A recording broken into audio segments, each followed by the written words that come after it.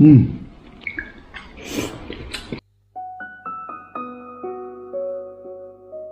今天第一次尝试大水量面团烙饼，效果真的非常好。面团醒好后，直接把它放在案板上，手粉要多放一点儿。咱们借助这个刮板，把它整理成长条形，然后就可以下剂子了。全程的一个要点就是，只要粘手的时候，你就来一点手粉。这个面团很软，我们在手上轻轻的抖一抖，它就圆了。然后就是把它擀成圆形，涂抹上油酥，然后切一刀。接下来就把它卷起来，然后一定要把收口全部捏严，大头朝下把它轻轻按扁，然后再醒十分钟，咱们再擀它。这时候我们就可以点火了，锅里放点油。擀的时候一定要反正面擀，只要沾手就撒点手粉，一定要擀得薄一点儿。这个饼真的是超级软，用铲子在锅里面随便推它，就像绸缎一样。这个饼最后是鼓起来的，然后两面金黄，我们就可以出锅了。你们喜欢吃虾仁滑蛋吗？这个做法做出来的虾仁滑蛋，鸡蛋很嫩，虾仁也很嫩。鸡蛋里加一点盐、胡椒粉、黄酒，然后把它打散。锅里放一点点油，先把虾仁炒至九分熟，然后再放回到蛋液里面。虾仁和蛋液重新倒回到锅里面，用铲子推一推就可以啦。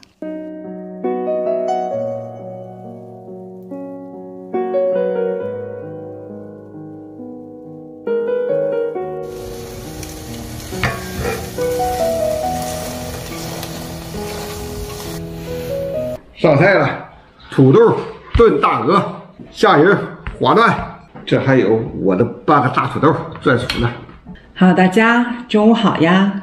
我们要开饭啦。开饭，先尝尝这黄那个滑蛋虾仁儿，那虾仁嫩不嫩？嗯，太嫩了。这样炒出来的虾仁儿超级嫩，鸡蛋也是超级嫩。嗯，是不是嫩？嫩。再来一口，就这辣。嗯，这种炒虾仁的方法非常嫩。嗯，嗯，好吃。嗯，不错。看看烂不烂乎？现在火候，欠一点哈，不好糊。这小土豆已经烂的不行了。你这嘎过一块压好，嗯现在火候，嗯，你吃小土豆吧。就有点欠火候。嗯，完了，这小土豆已经特别烂乎了。嗯，嗯，挑块肉，肉肉，又炖大鹅啦。我是来块肉，我这个纯纯肉。嗯，好香。香。嗯，啊，这口叫下黄瓜吃。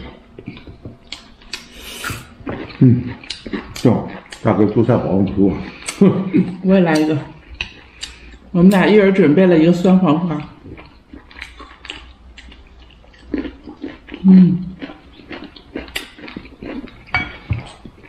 这小酸黄瓜等着我明年秋天的时候自己腌一点。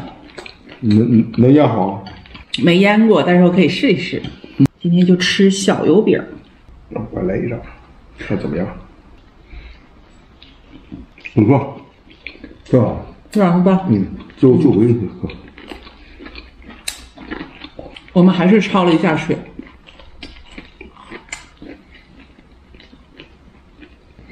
这样吃更健康。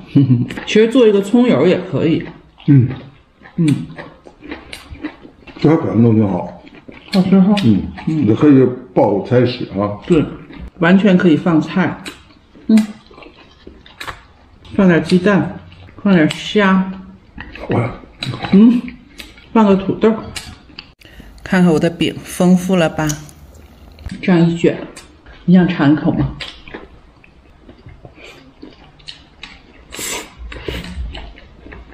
嗯，好吃。好吃啊。嗯，